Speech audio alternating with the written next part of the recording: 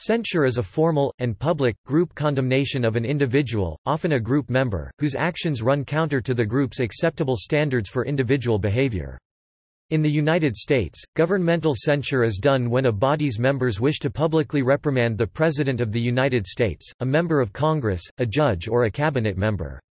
It is a formal statement of disapproval. The United States Constitution, while specifically granting impeachment powers to both the Senate and the House of Representatives, and also granting both congressional bodies the power to expel their own members, does not mention censure. Congress adopted a resolution allowing censure, which is stronger than a simple rebuke, but not as strong as expulsion. In general, each House of Congress is responsible for invoking censure against its own members. Censure against other government officials is not common. Because censure is not specifically mentioned as the accepted form of reprimand, many censure actions against members of Congress may be listed officially as rebuke, condemnation, or denouncement. Members of Congress who have been censured are required to give up any committee chairs they hold. Like a reprimand, a censure does not remove a member from their office so they retain their title, stature, and power to vote. There are also no legal consequences that come with a reprimand or censure. The main difference is that a reprimand is considered a slap on the wrist and can be given in private and even in a letter, while a censure is a form of public shaming in which the politician must stand before his peers to listen to the censure resolution.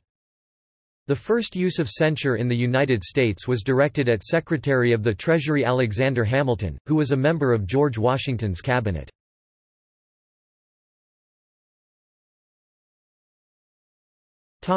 Presidential censures In 1800, Representative Edward Livingston of New York introduced a censure motion against President John Adams.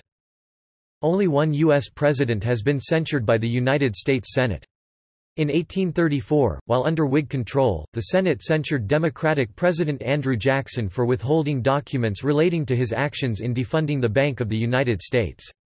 As a partial result of public opposition to the censure itself, the Senate came under control of the Democratic Party in the next election cycle, and the censure was expunged in 1837. As one historian has written, during the last session of Congress under Jackson, Democrats tried to delete from their record the censure of their hero.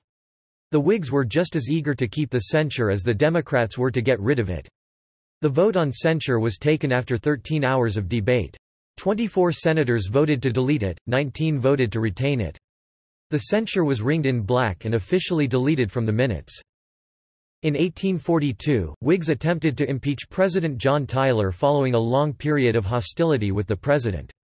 When that action could not get through Congress, a select Senate committee dominated by Whigs censured Tyler instead. In 1848, the United States House of Representatives voted to censure President James K. Polk, on the grounds that the Mexican-American War had been unnecessarily and unconstitutionally begun by the President of the United States.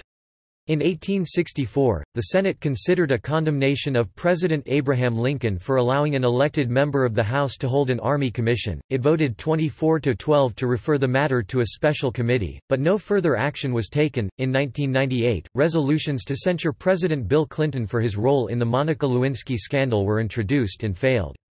The activist group MoveOn.org originated in 1998, after the group's founders began a petition urging the Republican-controlled Congress to censure President Clinton and move on, i.e., to drop impeachment proceedings, pass a censure of Clinton, and focus on other matters. On August 18, 2017, a resolution was introduced in the House to censure President Donald Trump for his comments that both sides were to blame for the violence in the Unite the Right rally.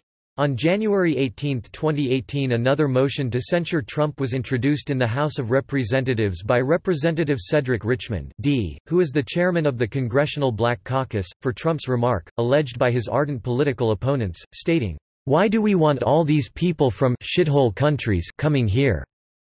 According to his political opponents Trump was allegedly referring to people from Haiti and African nations coming to the United States of America. The censure motion failed to reach any legislative action. This comment was alleged to have been made on January 11, 2018 in an Oval Office meeting with lawmakers regarding immigration.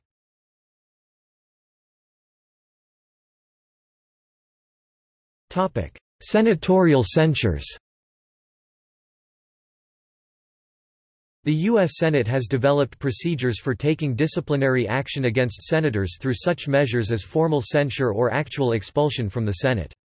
The Senate has two basic forms of punishment available to it, expulsion, which requires a two-thirds vote, or censure, which requires a majority vote. Censure is a formal statement of disapproval. While censure sometimes referred to as condemnation or denouncement is less severe than expulsion in that it does not remove a senator from office, it is nevertheless a formal statement of disapproval that can have a powerful psychological effect on a member and on that member's relationships in the Senate. In the history of the Senate, ten U.S. senators have been censured, the most famous being Joseph McCarthy.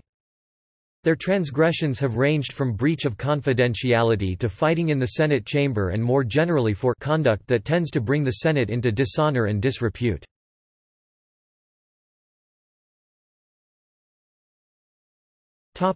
House censures The House of Representatives is expressly authorized to censure within the United States Constitution Article 1, Section 5, Clause 2. In the House of Representatives, censure is essentially a form of public humiliation carried out on the House floor. As the Speaker of the House reads out a resolution rebuking a member for a specified misconduct, that member must stand in the House well and listen to it. This process has been described as a morality play in miniature. In the history of the House, censure has been used 23 times, and most of the cases arose during the 19th century. In the modern history of the United States House Committee on Standards of Official Conduct since 1966, censure has been used five times, most recently in December 2010 against Charles B. Rangel who earlier that year lost his chairmanship of the Ways and Means Committee.